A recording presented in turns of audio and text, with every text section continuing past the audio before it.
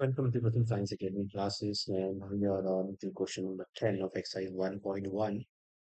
And we have to give an example of a relation which is symmetric but neither reflexive nor transitive. So let's consider the first part. And, and let's consider our set A, which has elements 1, 2, and 3.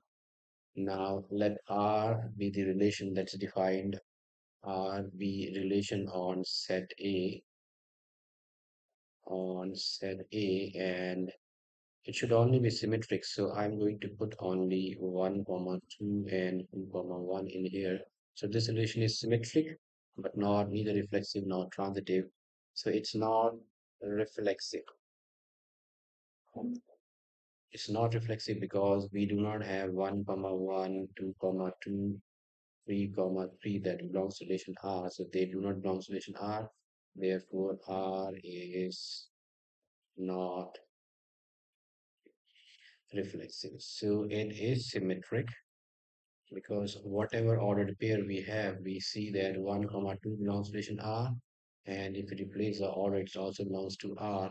That means uh, R is symmetric. Now transitive. It's not transitive because we do not have any elements such that A comma B belongs to R or B comma C belongs to R. We do not have any such elements. So we can say that we do not have any such elements on R such that the requirement for this transitive is A comma B belongs to R. And then we have B comma C, which does not belongs to R. So this is not transitive. Okay, let's move on to the second example. Okay, for the second part, we have to show give an example of a relation which is transitive but neither reflexive nor symmetric. So in this case, best would be to take any uh, relation that has the inequality sign. So let's say we have this ordered pair AB where A is greater than B. So now it's not reflexive because a number or an integer or a real number cannot be greater than itself. So we can say that a comma a is a is not greater than a. So a comma a does not belongs to R. So that means that the relation is not reflexive. Okay, now let's check it for the symmetric. Now let's say for the symmetric we have this a comma b in relation. So this gives a is greater than b. So if a is greater than b, that means that b is not greater than a, b is smaller than a. So if b is not greater than a, that, that means b comma a does not belongs to r. And if b comma a does not belongs to r, that means r is not symmetric. Okay, how it is transitive. So for transitive, and let's say a comma b belongs to relation r. So this, if a comma b belongs to relation r, so this gives us, so this belongs to relation r, and this gives us a is greater than b. And then we have b comma c is belongs to relation r. That means b is greater than c. So if A is greater than B and B is greater than C, then that means A is greater. This implies that A is greater than C. If A is greater than C, that means that A comma C pair belongs to R. And if A comma C belongs to R, that means that R is transitive. So this is an example of a relation wherein the relation is transitive but not reflexive, but neither reflexive nor symmetric. Let's move on to the third one. Okay, so for the third part, that is, we have to give an example where the uh, relation is reflexive and symmetric but not transitive. So let's say the relation is defined on set A, which is has elements 1, 2, and 3.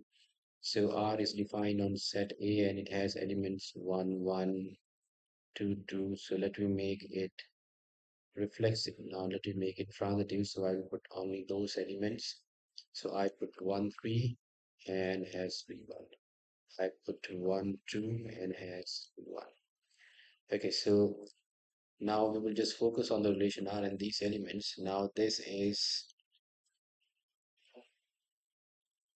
this is reflexive because it has 1 comma 1 2 comma 2 3 comma 3 all these belongs to relation r and whether that relation is reflexive when a comma a belongs to r so this has a comma a belongs to r that means r is reflexive. Now it is symmetric.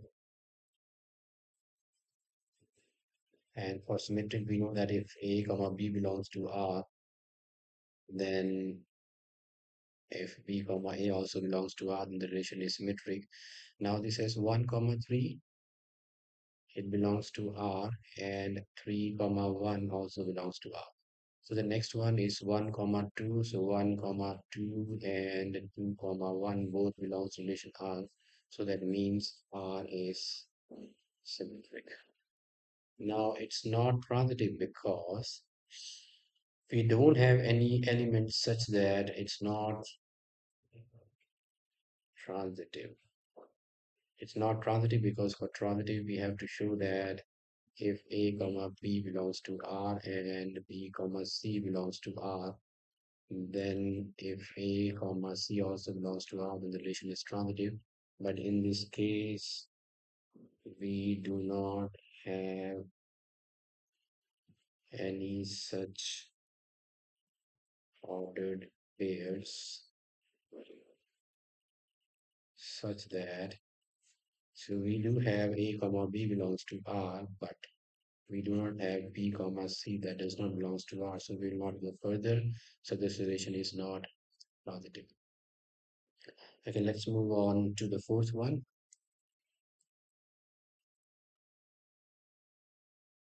Okay, for the fourth one we have to show the relation is reflexive and transitive but not symmetric. So once again, let's consider the relation on set A, 1, 2, 3 and uh, deliberately I'm just going to show it for reflexive and transitive but not transit but not symmetric. So I'm going to put 1 comma 1, 2 comma 2, 3 comma 3 that will make it reflexive and now I am going to put 1 comma 2 with 2 comma 3 and also going to put 1 comma 3 so that will make it transitive so it's reflexive yes it is reflexive because for the reflexive condition is a comma a belongs to r then the relation is reflexive and in this case we have the relation of 1 with 1 2 with 2 3 with 3 so this is this all belong to r therefore r is reflexive. Now for transitive, we don't have any such elements.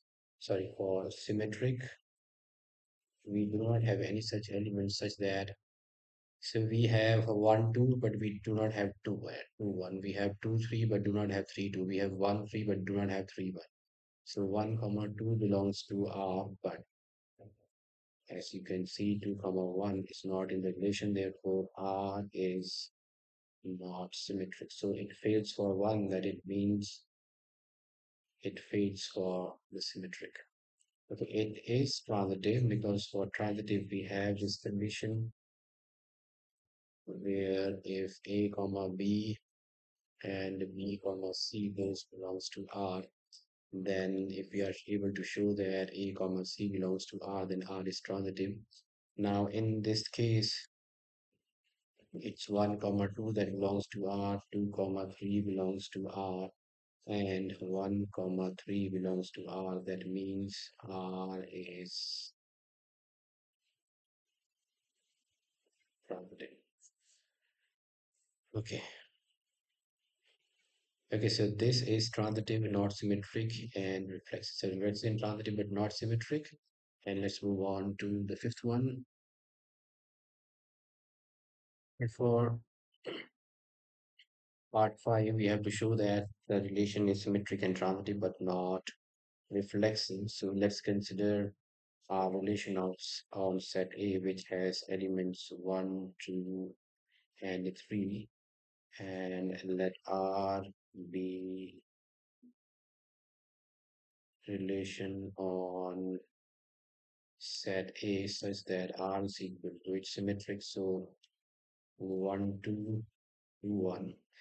And now mm-hmm. it's 1, 2, so I will make it 2, 3, and 1, 3.